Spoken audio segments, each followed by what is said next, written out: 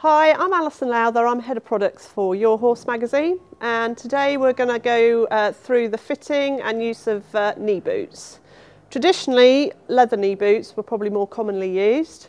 Um, we have a, uh, one of them here which are usually fastened by buckles um, but as materials have developed there are now sort of neoprene ones available which are probably a little bit softer, easier to care for but do just as good a job.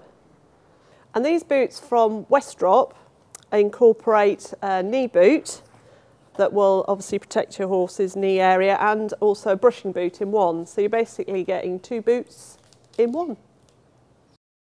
So to fit uh, knee boots, uh, start off a little bit higher and then sort of slide the boot into position. And the top strap is the strap that has to be fairly tight and secure so there's no danger of the knee boot slipping down while you're while the horse is moving.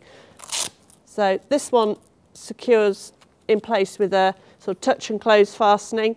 I tend to like to be able to get a finger down the side of the boot just so it's not over tight but you can tell that it's not going to slip down over the knee at all.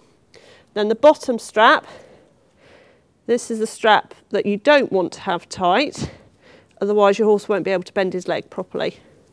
So again, this one just uses a simple touch and close fastening. The strap is very loose and you can just check, come on up, that she can uh, bend her leg easily. There's no restriction there at all. And you can tell that the knee is going to be well protected should she come down on, on the road at all.